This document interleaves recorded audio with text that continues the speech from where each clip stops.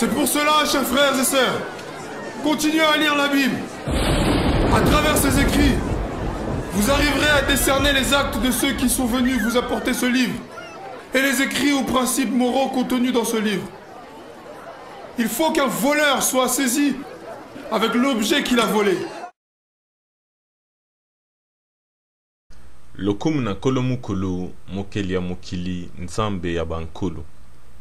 Louange au créateur de l'univers salutations de paix de vie de force et de santé à tous. Je vous passe le losako bana ezalela bipai bozali losako longonia pe losako chers frères et sœurs depuis la fin de l'année 2019 nous sommes entrés dans l'ère du loseba et du sabbat c'est-à-dire l'ère de la corne et du repos mais aussi du jugement.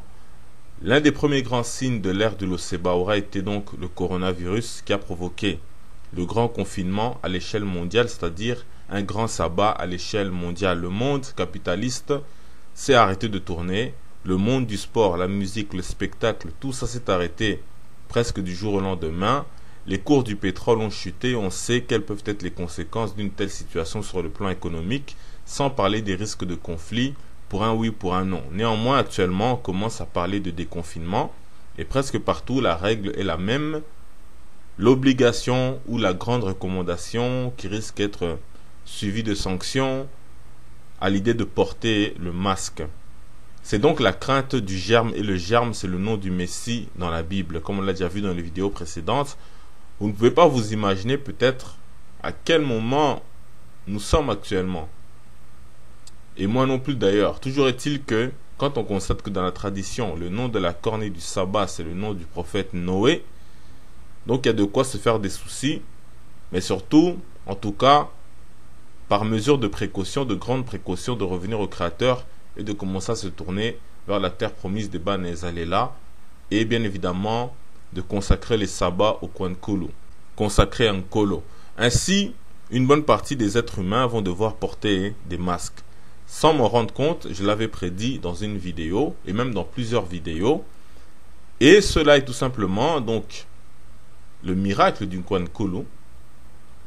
Lorsqu'on consulte le Kulu, on est en train d'enseigner le Kulu et le Kulu est en train d'enseigner ce qui est en train d'arriver aujourd'hui avec de grandes précisions. Donc, d'où l'importance de se tourner vers le Kulu, d'où l'importance du sabbat qui est le jour consacré à un Kolo et comprendre un colo par le biais du Kulu. Dans une vidéo du 19 octobre 2020 qui parle de Isaac, j'ai longuement parlé de cornes. Et ce que vous ignorez peut-être, c'est qu'en linga, la corne au pluriel se dit maseke. Donc, vous avez corne maseke, MSK, masque, c'est MSK également. La racine consonantique de ce que l'on entend. Donc l'orthographe n'a pas d'importance, c'est les sons qui comptent. Déjà depuis 2019, on a annoncé l'ère du Loseba, la corne, et on a parlé du Ngenge, c'est-à-dire le virus. Donc en 2019, on ne parlait pas encore de coronavirus dans le monde, dans les médias, etc. Dans une vidéo du 29 décembre 2019, on a évoqué le bâton enroulé avec un serpent autour du bâton, qui est le symbole de la pharmacie, de la médecine, mais surtout à notre époque, c'est le symbole de l'OMS, l'Organisation mondiale de la santé. Donc je me pose la question, donc en 2019, est-ce que on entendait parler de l'OMS comme c'est le cas aujourd'hui qui parle des recommandations des masques de distanciation sociale, de confinement et ainsi de suite, et ce partout dans le monde avec l'autorité mondiale de l'OMS, donc organisation bien évidemment satanique, puisque c'est le bâton du pharaon rouge. Donc, on va en parler dans une prochaine vidéo sur Kinkolo Alinghi. Donc, est-ce qu'on en parlait? Donc, nous, on vous a mis donc ce bâton-là au 29 décembre 2019. Et on vous a aussi parlé donc du Ngenge, du Kamoa, du Kamo, etc., qui sont les symboles de la chimie. La chimie, la médecine, la pharmacie. Et, bien évidemment, nos conceptions traditionnelles versus les conditions, versus les considération moderne. Et aujourd'hui, on est en train de voir justement cette rivalité naître entre l'Afrique dépourvue d'industrie pharmaceutique, qui va se tourner vers la médecine traditionnelle au détriment des recommandations de l'OMS. C'est-à-dire qu'on est obligé maintenant de passer outre l'OMS, Non pas parce qu'on avait envie de le faire, mais parce qu'on se retrouve dans une situation où on est obligé de le faire. Bref, maintenant on arrive au temps du masque. Et il faut donc se poser la question, est-ce qu'il y a un lien entre le masque et le terme corne maseke en lingala dont on a parlé en octobre 2019 Mais aussi, est-ce qu'il y a un lien avec Isaac? Puisque la vidéo, je vous rappelle, ça parlait de Isaac. Mais également, est-ce qu'il y a un lien avec le Messie? Et tout ce dont on a parlé dans les précédentes vidéos sur le coronavirus. Car si oui, le Kwankul aura une fois de plus prédit une situation mondiale avec précision, et qu'il va falloir donc commencer à considérer le Kwankulu pour ce que son nom prétend être, c'est-à-dire quelque chose qui est descendu du ciel. Quelque chose qui est descendu d'un colo. Quoi, c'est descendre en lingala, ou kwea. Nkulu, c'est Dieu, le ciel, et ainsi de suite. Ainsi que les ancêtres. Donc si on veut parler de l'étymologie de masque, il faut d'abord s'intéresser au terme mascara. Cela vient du dictionnaire donc étymologique en ligne en anglais. Donc je vous mets le texte original en anglais et la, traduction en français. Donc, on dit mascara, c'est cosmétique pour la coloration des sourcils et des cils utilisé à l'origine par les acteurs. Puis on nous dit que ça veut dire tache. Aussi masque. Donc c'est la même source que maschera en italien qui veut dire masque. Donc on nous invite à aller voir l'étymologie de masque pour en savoir plus sur l'origine du terme mascara. Mais avant d'aller voir masque, vous allez d'abord comprendre pourquoi on parle de mascara relié au masque et aux taches. Voici ce qu'on appelle l'œil de Horus ou Jat pour l'égyptologie. On peut voir du maquillage et du mascara sur cet œil-là. Et on rappelle aussi que Horus est le Messie. Horus c'est le, c'est le Messie dans l'Égypte antique.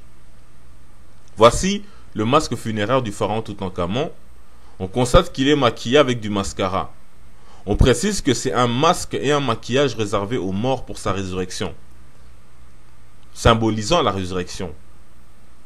Après la mort, nous dit l'article de Wikipédia concernant la cosmétique dans l'Égypte antique, après la mort, les cosmétiques devaient créer une apparence juvénile, donc jeune et fertile, jugée essentielle pour renaître dans l'au-delà. Bref, c'est leur façon de présenter la chose. Toujours est-il que, pour euh, résumer, c'est pour symboliser que celui qui ressuscite revient avec un corps jeune, en forme, glorieux, dans toute sa force.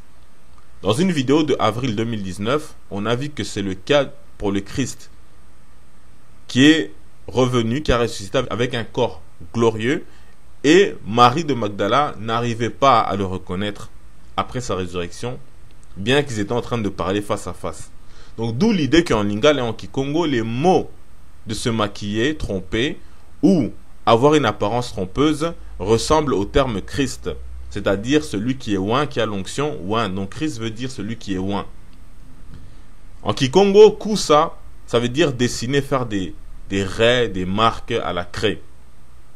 On sait tous que parmi les outils de maquillage des femmes, on a les crayons et tout ça. Donc c'est aussi du mascara. Ensuite, on a kusa, c'est enduire, frotter. Retenez bien le terme frotter lorsqu'on va retourner en lingala. Pour dire que c'est le même mot, mais les dictionnaires ne vont pas commencer à avoir le luxe de mettre 20 mots comme le dictionnaire Kikongo. Donc, Kousa, c'est enduire, frotter, oindre, barbouiller, badigeonner, marquer un objet avec euh, une craie, etc. Donc c'est toujours l'idée de maquillage, de mascara, mais aussi de l'onction et ainsi de suite. Et on rappelle qu'à l'origine, le nom du Christ, c'est la racine consentie KS. Donc quand on dit Kousa, Kese, Kisi, et ainsi de suite, c'est ça le nom à l'origine du Christ comme on le voit dans les anciens tableaux qui datent d'il y a plus de 1000 ans. Ensuite de ça, ensuite on a Kousi, ça veut dire encore barbouiller, ainsi de suite, mais ça veut dire enduit, être peint. En Kikongo, on a, on a kusama, ça veut dire barbouiller, sali, taché. Donc, on retrouve le terme tache, qui est une étymologie du terme mascara. Donc, le, le ma est simplement un suffixe. Donc, on retrouve le terme tache, qui est une étymologie du terme mascara. Maintenant, en lingala, on a kusa, ça veut dire donc frotter. Donc c'est l'idée de oindre, on ne parle de gratter légèrement, donc passer quelque chose sur son visage légèrement, bien sur sa tête, etc. Donc c'est le même mot en fait qu'en Kikongo. Si maintenant on va dans les synonymes de maquiller, on a dissimulé, masqué, déguisé. Donc vous voyez l'idée du masque.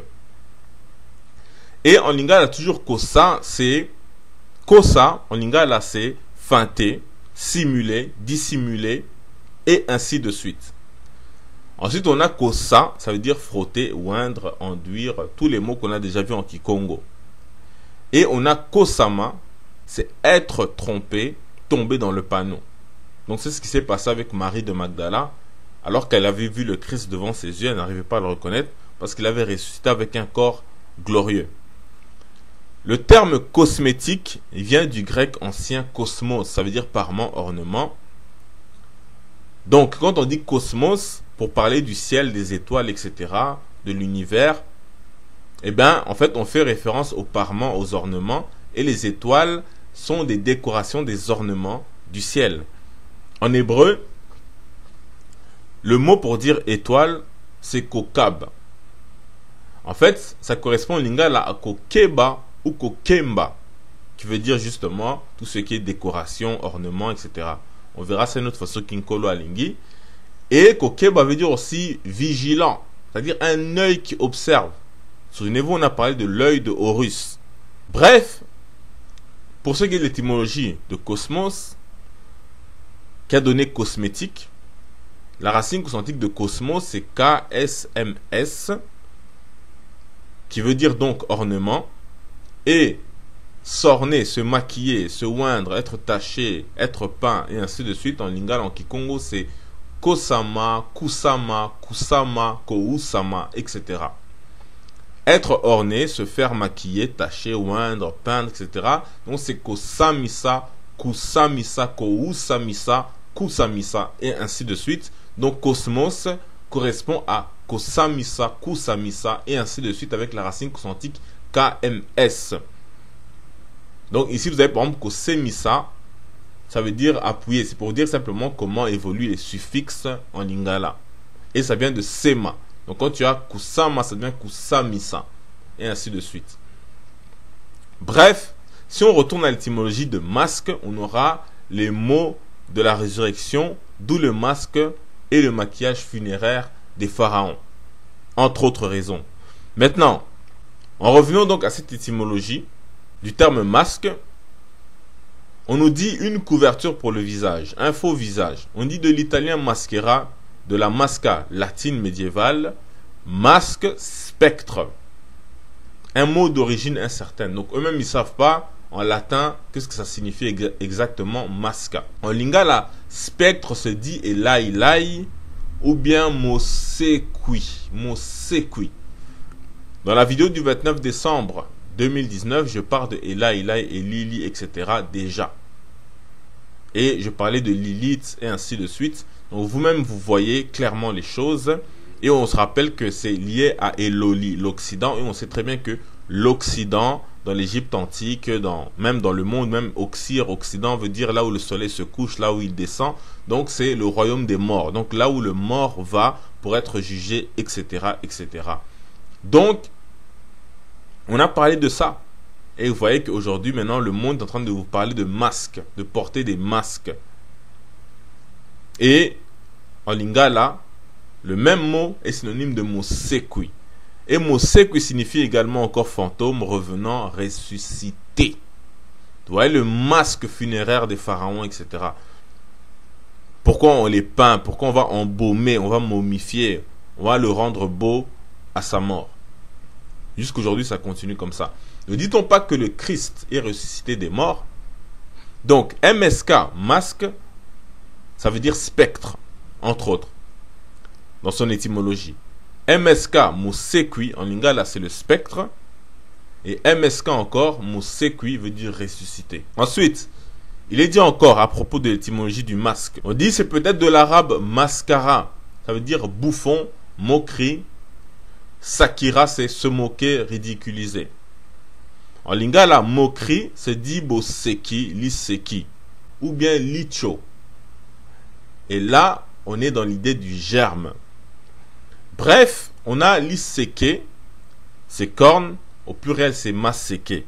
On a boseki, c'est rire, moquerie. Si vous allez dans la Bible, définition de Isaac, parce qu'on vous dit que ça vient de l'arabe, mais la Bible était déjà là bien avant les premiers textes littéraires en arabe, dont le Coran.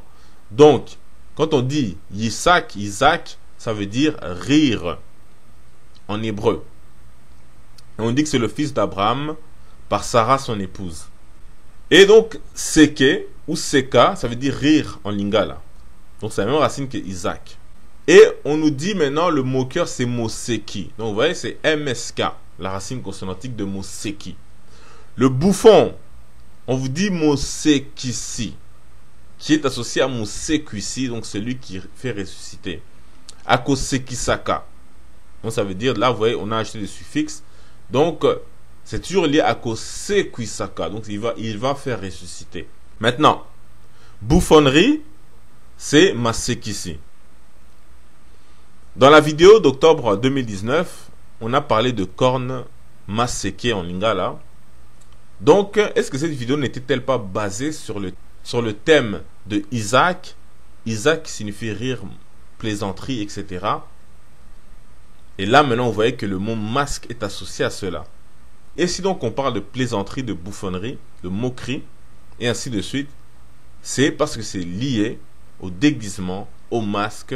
on le voyait souvent au Moyen Âge, comment on se moquait des gens, on se déguisait, etc. On prenait le masque d'un roi et puis on se moquait du roi, etc. etc. Bref, ailleurs on précise encore, toujours étymologie de masque. On dit donc par rapport à l'arabe, ça veut dire mascara, plaisanterie, faux visage. En lingala, plaisanterie, c'est l'isebo. La racine, c'est sebo. Et ça veut dire aussi pointe. Aiguisé, c'est koseba. La racine, c'est seba. Donc ça veut dire aussi pointu, pointe. Et vous vous souvenez que dans la vidéo précédente, on avait parlé de kongenge, le kola muinda qui signifie en même temps briller comme une étoile, mais également le virus qui a la forme d'une étoile, c'est-à-dire le fameux coronavirus. Donc vous voyez que le simple fait d'avoir parlé de cornes et ainsi de suite, déjà en 2019, ça voulait dire qu'on avait déjà parlé de coronavirus. Ainsi que des masques qui sont les conséquences du coronavirus. Et bien évidemment, tout ça part de la vidéo sur Isaac qui signifie rire, plaisanter. Donc vous réalisez toute la sagesse inimaginable du Kwan Et corne, c'est bien évidemment seke, qui est proche de seka. Au pluriel, ça devient mas seke. Mais on voit aussi c'est beau seba, la racine c'est seba ou le seba. Donc on a dit que ce nouvel air s'appelle l'air du Loseba, la corne. Et on a eu le coronavirus. Et on veut que les gens portent un masque qui signifie entre autres indirectement le rire, la plaisanterie. En lingala donc, on rappelle l'iseke. Au singulier c'est masque, la racine c'est seke. Maseke c'est le pluriel et qui signifie corne. Et l'iseki, au pluriel, ça devient maseki, ça veut dire blague, humour, plaisanterie. Et ici, donc sur ce site, vous avez plein de phrases avec maseki. Et là, vous voyez que ça veut dire à chaque fois plaisanter, plaisanterie, etc. Et enfin, on a le terme pointilleux, puisqu'on a parlé de pointe, l'oseba, l'isebo, etc. Dans l'air du loseba, l'air de la corne qui est pointue, et ainsi de suite. Donc, on a pointilleux qui se dit ntseku. Ntseku. Donc, on récapitule. Parce que ntseku devient muntseku. Donc, celui qui est pointilleux. Donc, l'étymologie de masque, c'est entre autres plaisanterie. En lingala, plaisanterie, maseki. Maseke, c'est les cornes. Ntseku ou Moseku, c'est être pointilleux. Vous voyez, il y a l'idée de pointe, de pointu. Donc, l'ère de la corne arrive avec le coronavirus qui impose maintenant le masque. L'ère des masséqués vous ramène maintenant au masque, qui veut dire donc se dissimuler, plaisanter, rire, etc. Masséki. Donc le Kulu avait vu juste en prédisant cela sans que je m'en rende compte en faisant la vidéo d'octobre 2019. Et donc, avec tous ces masques, le monde va devenir un grand carnaval ou une mascarade. Parce qu'une des étymologies encore de masque, on dit participer à une mascarade. Et ça veut dire déguisement. Et c'est aussi l'idée de cacher. Et on sait que cacher, c'est synonyme de dissimuler. Donc mascarade, qui va avec mascara. Donc l'idée de maquillage, de déguisement. Et on sait que la fête du déguisement, c'est le carnaval. Comme par hasard, dans carnaval, on a le terme carna qui ressemble à corne ou à cornet, ce qui est pointu. Et on sait le lien qui est entre ce qui est pointu avec les masques en Italie à Venise dans leur carnaval. Donc le masque arrive avec quelque chose de très pointu. En lingala pointueux, on a dit c'est tseku ou bien munkete. Munkete, ça veut dire sévérité. Et Ntseku signifie encore la partialité. Ça veut dire que on a deux personnes, on doit faire un choix entre ces deux personnes-là. C'est très très important ce que je suis en train de vous dire. Parce qu'il y a eu beaucoup de morts à cause d'une Tseku. Et vous avez vu le taux de mortalité des Noirs aux États-Unis. On parlait de 40% des morts du coronavirus, c'était des Noirs américains. Ils ont sorti toutes sortes de raisons, discrimination, pauvreté, etc. Et eh bien, la discrimination, c'est ce qu'on appelle le Ntseku. Donc, le Ntseku, à l'ère du Seba, va devenir encore plus fort. Particulièrement dans le monde occidental et particulièrement aux États-Unis. Pourquoi? Parce que on vous a dit dans la vidéo de 2016 que Nkolo Tatanzambe Yabankulu va faire en sorte que il va dégoûter les Africains, les Noirs américains, etc., du monde occidental, et en particulier des États-Unis d'Amérique. Donc ça veut dire que avec le masque, on rentre dans une époque de très haute surveillance et de très haute sévérité et de partialité, c'est-à-dire du favoritisme de l'un sur l'autre. À l'hôpital, deux personnes arrivent en, réanimation, ben ah, il est noir, allez, hop là. À côté. Donc faites très attention à ça. La médecine traditionnelle est en train de se, de se réveiller. Donc vous allez voir que c'est l'Afrique qui va dominer le monde des guérisons. Partout, on parle de pister les personnes ayant les symptômes de coronavirus avec leur téléphone et ensuite retracer toutes les personnes qui sont rentrées en contact avec celui qui porte le coronavirus, etc., etc. Des soi-disant scientifiques propose que chaque personne ayant les symptômes du coronavirus, euh, on doit maintenant, comme ça, les mettre en quarantaine dans des hôtels qui vont être réquisitionnés. Donc la personne n'aura même pas la liberté de rentrer dans sa maison pour pouvoir se confiner, mais va être en quelque sorte emprisonnée dans un hôtel ou je ne sais quoi. Et si par malheur vous êtes au mauvais endroit, eh ben, le Ntseku va vous frapper et on va vous laisser mourir, soit disant du coronavirus, mais peut-être d'autres choses aussi. Donc, cela risque de toucher en particulier l'homme noir. Et enfin, on vous dit que masque, ça veut dire noir. Le noir. Donc, on vous dit à tout le monde, cachez vos visages. Mais qui est-ce qu'on reconnaît L'homme noir. Bref, on dit le mascara, c'est en occitan, noircir, foncer, noir, etc. Ça viendrait d'une langue pré-indo-européenne. Et encore dans un autre site, on dit masca, ça veut dire noir. Mais ça veut dire aussi démon, sorcier, etc. dans leur langue pré-romane. Nous dit-on. Donc ça va être la chasse aux sorcières. Par rapport, soi-disant, à la couleur noire.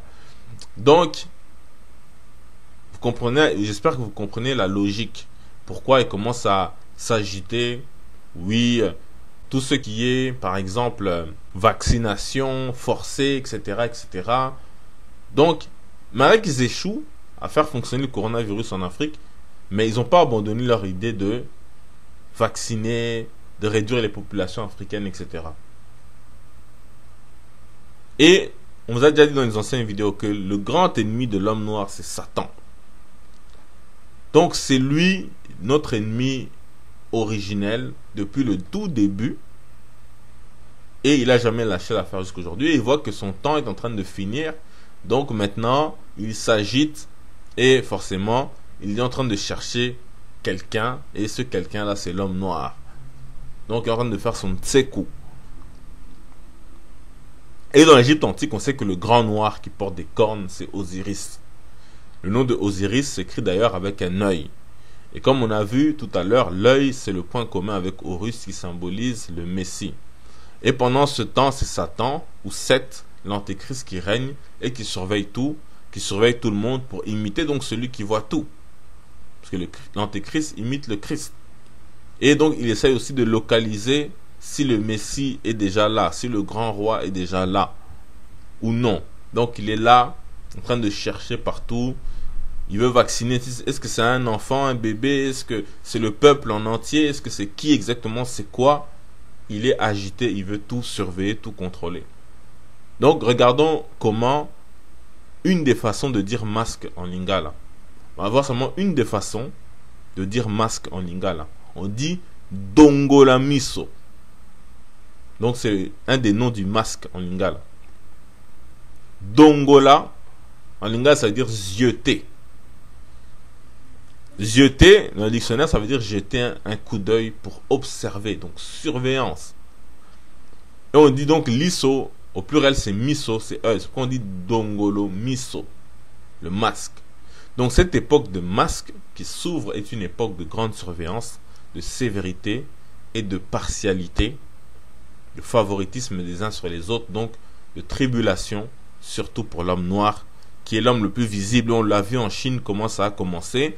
Immédiatement, dès que le noir il arrive, on ne veut pas te faire entrer dans un magasin, mais tu dois acheter de la nourriture pour manger. On ne veut pas te laisser euh, occuper un appartement alors que la maladie est partie de chez vous, mais vous commencez maintenant à vous tourner vers les noirs. Parce qu'on vous a dit que c'est un esprit. Ce n'est pas Juste le chinois, ce n'est pas l'homme blanc européen qui est contre l'homme noir, c'est celui qui est la puissance tutélaire des nations qui est en train de les exciter. Mais vous allez voir que de l'autre côté, donc, le Nkisi, lui aussi, il observe tout.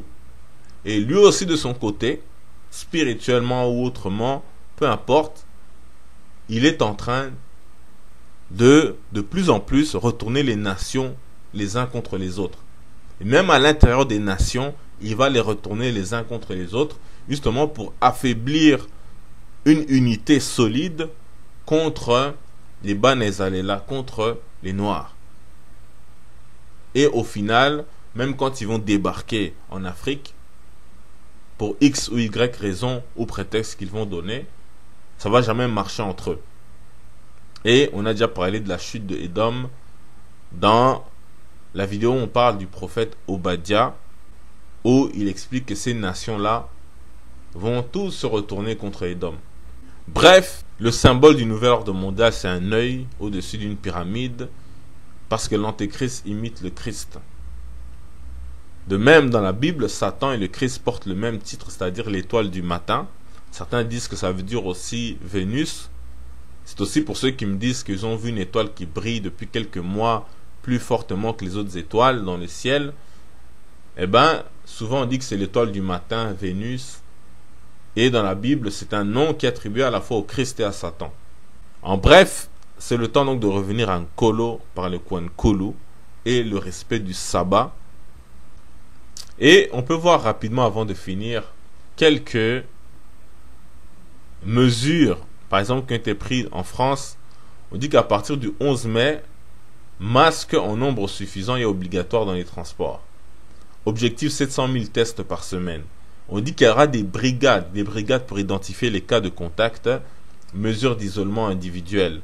On dit donc quand une personne sera testée positive, tous ceux symptomatiques ou non qui auront eu des contacts rapprochés avec cette personne seront testés. Des brigades seront constituées pour identifier et contacter les cas contacts. Ces derniers seront alors invités à s'isoler compte tenu des incertitudes sur la durée d'incubation. Donc ça veut dire que déjà on se pose des questions. Comment tu vas tester des gens qui sont asymptomatiques? Donc ça veut dire que c'est une affaire de sang maintenant. Parce que je vois pas comment ils peuvent savoir que quelqu'un est malade s'il n'a pas de symptômes, à moins d'aller chercher dans le sang des éléments Et ça, c'est déjà, c'est pas clair d'un point de vue purement médical. Mais bref, ils prétendent pouvoir identifier le virus de cette manière ou d'une autre. Peu importe, on voit clairement que vous voyez que ça s'accompagne de choses très très dures. Et on dit que les rassemblements sont limités à 10 personnes, donc euh, de quoi bien aider les gens qui vont vouloir se révolter, manifester ou je ne sais quoi. Et on dit tous les indicateurs économiques sont en effet au rouge. La France devrait connaître en 2020 sa plus, forte, sa plus forte récession depuis 1945. Donc on vous explique ici clairement que on est en mode guerre. Donc le coronavirus a déclenché une guerre mondiale pour l'instant, c'est une guerre qui est simplement, euh, comme on dit, bactériologique, etc., etc. Mais ça risque de dégénérer parce que l'économie va être touchée et toutes sortes de mesures possibles et imaginables pourront être, prises sans que les, les gens puissent donner leur point de vue. Et là, ouais, les temps vont devenir très durs. Donc, encore une fois, c'est le temps de se tourner vers un colo par le coin de Kulu. Et donc, euh, surtout pour les Africains, de comprendre que l'avenir, c'est l'Afrique. Et, mais il faut savoir que une grande partie de la délivrance se trouve aux États-Unis, Afro-Américains. Parce que eux, ils sont complètement déracinés. Ils espèrent qu'un an après coronavirus, retrouver une vie normale, etc. Alors qu'une colo veut les faire comprendre, a dit non, la prophétie dit, après le jugement, vous rentrez chez vous avec de grandes richesses. Mais bon, pour l'instant, on s'arrête ici le colo, tatanzambia bankulu, paix force santé en salutation.